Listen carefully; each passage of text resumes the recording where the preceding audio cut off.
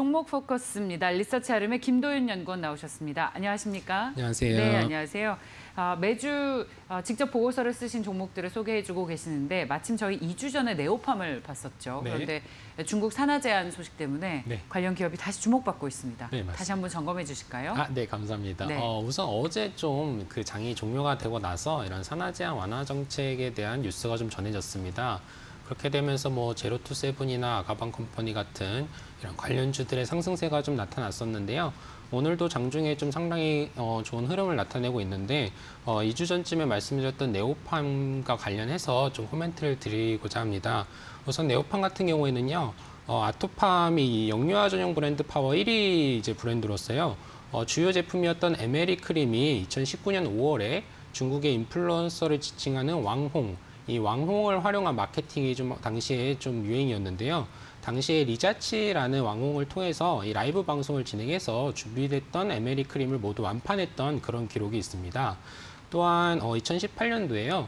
중국의 인민일보 인민망과 사단법인 한국마케팅협회가 주최한 2018년도 중국인이 사랑하는 한국의 명품 조사에서 어, 동사가 가지고 있는 이 MLE 크림, 이 아토팜 브랜드가 어, 유아용 스킨케어 부문에서 1위에 선정되기도 했었던 만큼 어, 아무래도 올해부터 좀 본격적으로 중국 시장에 진출할 것으로 전망되는 만큼 이런 어, 대표 브랜드인 아토팜의 영유아 스킨케어 부문의 브랜드와 관련해서 입지도가 좀 부각될 가능성이 충분하다 이렇게 좀 말씀을 드릴 수 있을 것 같습니다. 네. 네. 자, 저희가 봤던 종목이 다시 새로운 뉴스를 통해서 네. 각광을 받으니까 반갑네요. 네, 맞습니다. 자, 그러면 오늘의 종목을 살펴보겠습니다. 오늘은 가온 전선을 가지고 나오셨죠? 네, 맞습니다. 네, 국내 전선업체 중에 3위. 네, 맞습니다. 이고. 네. 왜 지금 가온 전선을 주목을 해야 되는지 하나하나 짚어볼 텐데, 네. 자 구리 가격 상승에 따른 수혜 기업으로 알려져 있습니다. 네 네. 왜 그런 거죠? 어떤 기업입니까? 아, 네. 어, 우선 전선업체들 같은 경우에는요, 이런 판매 단가를 좀 원재료에 좀 이렇게 좀 네, 영향을 받아서 측정을 하게 됩니다. 네. 그렇기 때문에 이렇게 원재료 가격이 오르게 되면은 판매 단가를 인상하게 되고요. 그래서 일단 구리 가격을 좀 말씀드려 보면요. 지난해 12월 31일에 톤당 한 770달, 7,700달러 정도에서요. 올해 3월 31일에 톤당 8,850달러로 좀 상승을 한 그런 상황입니다. 이에 따라서 동사의 1분기 매출액과 영업이익 역시 각각 9%, 18.8% 정도 상승을 한- 한 것으로 나타난 것으로 기록이 됐고요. 또 2분기에도 지속적으로 상승을 해서 현재 통, 톤당 약 만 달러 수준을 좀 형성을 하고 있기 때문에 어, 2분기에도 좀 어, 실적적인 측면에서 봤을 때 긍정적인 환경이다 이렇게 좀 말씀을 드릴 수가 있을 것 같습니다. 조금 더 자세, 자세하게 말씀을 드려보면요. 우선 동사의 분기 보고서에 따르면 어, 가장 중요한 원재료 가격인 이 구리동의 통당 평균 가격이 2020년도에는 755만 원으로 좀 기록이 되어 있는데요. 어, 이번 1분기에는 약 982만 원으로 30% 정도 상승한 것으로 기록이 되어 있습니다. 이에 따라서 동사의 내수용 전선 단가 역시 어, 26.4% 상승한 것으로 기록이 되어서 실제로 이렇게 원재료 가격이 인상되는 것을 판매 단가 인상, 판매 단가에 전이시킬 수 있으며 확인이 된 부분이고요. 그렇게 되면서 1분기에 좀 상당한 호실적을 기록을 했고 2분기에도 이렇게 좀 구리 가격 지속해서 상승한 만큼 좋은 실적 예상된다는 측면에서 오늘 이렇게 좀 네, 구리 가격 상승에 따른 수혜주로 좀 분류가 되고 있다는 말씀을 드릴 수 있을 것 같습니다. 구리 가격이 오르면 판가도 인상할 수 있어서 이익이 좋아진다. 네, 맞습니다. 라는 아주 기본적인 투자 의견을 가지고 있는 만큼 또 요즘 원자재 가격의 상승과 함께 각광을 받고 있나 봐요. 네. 그러면 이 가온전선에서 만드는 이 전선을 네. 어디에 팔아요? 아. 주요 고객사는 어디입니까? 아, 네. 주요 고객사는 우선 네. 이런 전력 사업부의 가장 큰 매출 비중을 차지하는 곳은 한국전력이라는 곳이고요. 음, 네. 네, 그렇기 때문에 한국전력의 송배전 설비 투자가 확대된다면 어, 동사에게 좀 주요한 그런 이제 좀 영업적인 환경에서 긍정적이다 이렇게 말씀을 드릴 수가 있겠고요. 또 다음으로는 이제 뭐 삼성 엔지니어링, 현대 엔지니어링 같은 플랜트 업체들이 좀 있습니다. 어, 이런 업체들 중에서도 특히 삼성 엔지니어링 같은 경우가 동사 매출 비중에서 차지하는 비중은 약 15에서 20% 정도로 좀 어, 이렇게 좀 추정이 되고 있고요. 그리고 주요 고객사로는 통신 3사가 좀 있습니다. 뭐 SKT, LG 유플러스 KT. 그 중에서도 특히 KT 쪽으로 좀 공급이 많이 되고 있는 것으로 파악을 하고 있고요. 이외에도 다수의 건설사들을 좀 주요 고객사로 확보하고 있습니다. 아무래도 건설을 하게 되면 이런 소방용 케이블이나 절연전선 등의 수요가 좀 증가하기 때문에 어, 이런 건설사들도 좀 고객사를 확보를 하고 있다고 말씀을 드릴 수가 있겠습니다.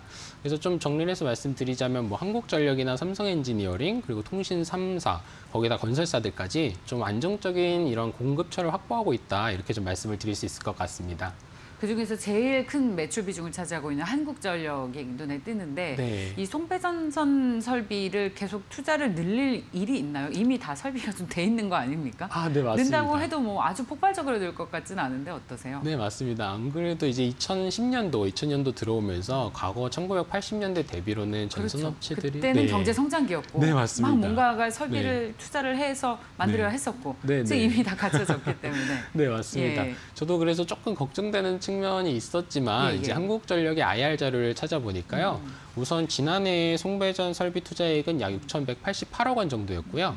올해는 6,393억 원, 그리고 내년도에는 약 7천억 원으로 아직도 좀 계속해서 지속해서 이렇게 좀 투자를 하고 있는 그런 상황이더라고요.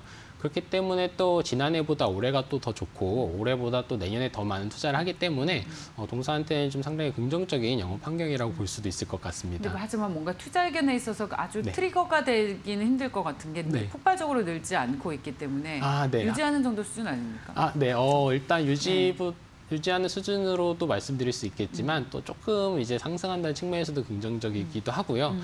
또 이런 사실 이렇게 한국전력보다도 이제 최근에 이 건설사들의 수주가 좀 굉장히 증가를 많이 하고 있습니다. 네. 특히 지난해 같은 경우에는 이렇게 대한건설협회에 따르면요. 어, 국내 건설사들의 국내 수주액이 역대 최대치인 194조 원에 달한다고 합니다.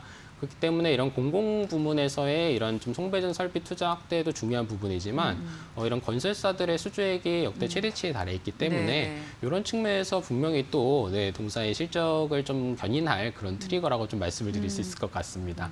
그리고 또 네. 뭐 대선 등 중요한 선거들이 앞두고 있어서 네. 그럴 때 이런 건설 관련 정책들이 많이 나오죠. 부동산 활성화 때문에요. 네네. 그렇죠. 네, 뭐 그런 모멘텀을 받을 수도 있을 것 같고 그리고 삼성 엔지니어링이 고객사로 있어서 그 네. 해외 플랜트 수주에 대한 뭐 기대도 좀 가능할 것 같은데 어떨까요? 아, 예, 맞습니다. 어, 말씀해 주신 것처럼 이런 이 플랜트 업체들을 좀 고객사로 두고 있기 음. 때문에요. 어, 아무래도 이렇게 좀 삼성 엔지니어링이나 이런 플랜트 업체들의 주가를 좀 볼 때, 음. 어, 좀 해외 수주 측면이 좀 중요하다는 이런 좀 요소로 많이 보고 있거든요. 최근에 다행스럽게도 이렇게 유가가 좀 올라와 주면서요.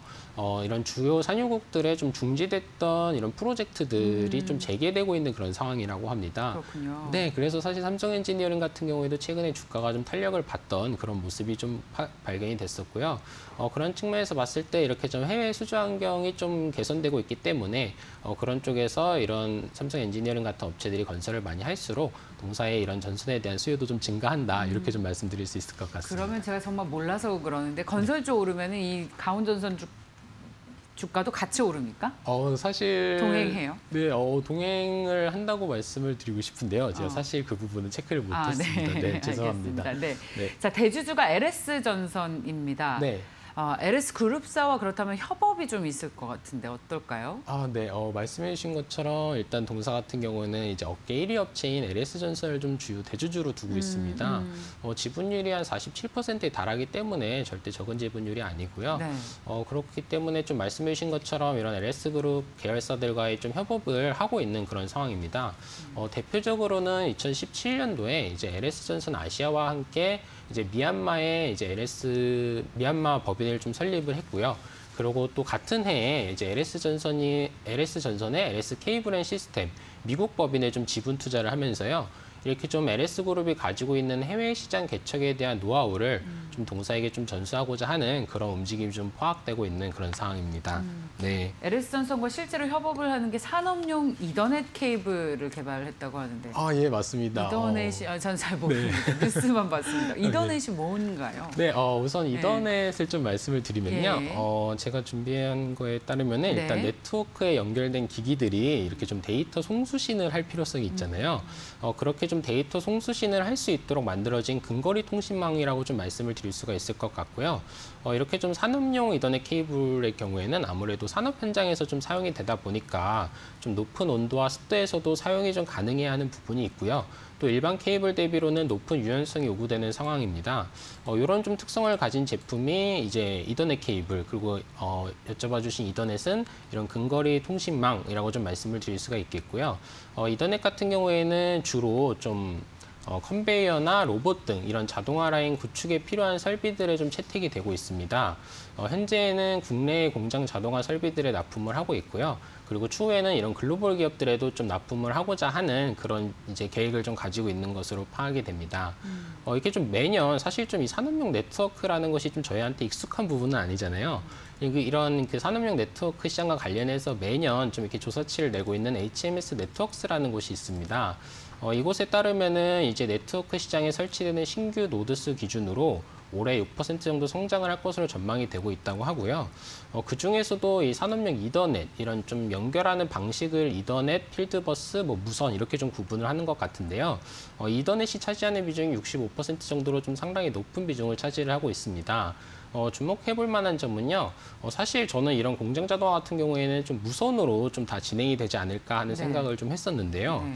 어, 이런 블루투스 같은 경우에는 신규 설치 노드수 기준으로 1%밖에 되지가 않고요. 또 이런 무선을 모두 합쳐도 약 7%밖에 되지가 않기 때문에 아직은 이런 케이블을 이용한 기기들의 연결 방법이 좀 채택이 되고 있는 점이 좀 어, 주목해 볼 만했던 점이었던 것 같습니다.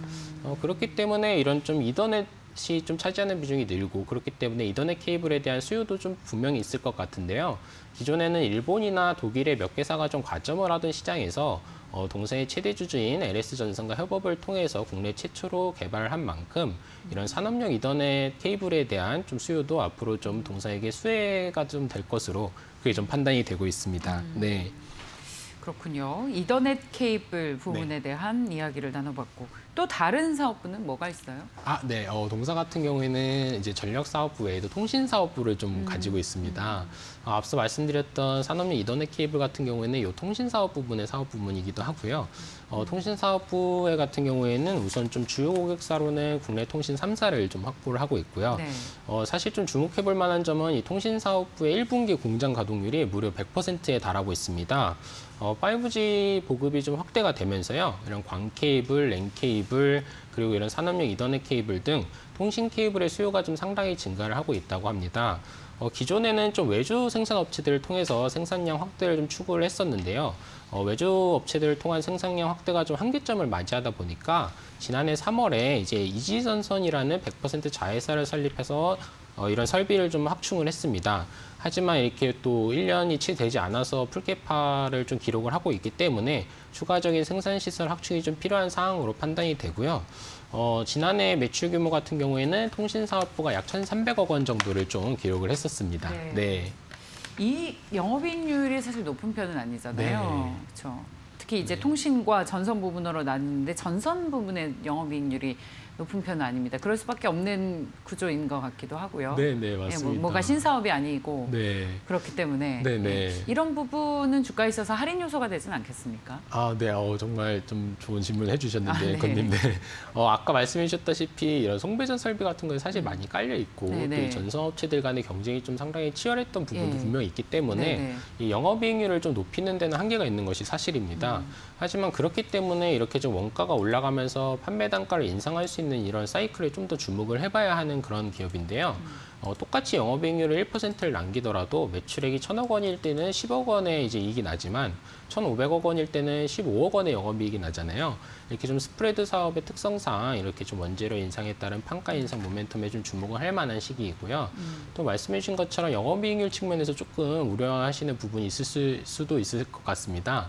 하지만 말씀드렸던 통신사업 부문의 경우에는요, 이번 1분기에 매출액에서 차지하는 비중은 14%밖에 되지가 않지만 영업이익에서 차지하는 비중은 무려 42%에 달할 정도로 절반 수준이군요. 네, 맞습니다. 상당히 수익성이 괜찮은 이런 통신 사업부를 또 상당히 좀 성장하고 있는 모습이 관측이 되고 있기 때문에 네, 앞으로 영업이익률적인 측면 어, 구리 가격 이후에 조금 하락세 보이더라도 이런 통신 사업 부문 성장에 따라서 충분히 좀 커버해 볼 만하다 이렇게 좀 말씀을 드릴 수 있을 것 같습니다. 네, 네. 자 오늘 말씀 여기까지 듣도록 하겠습니다. 네.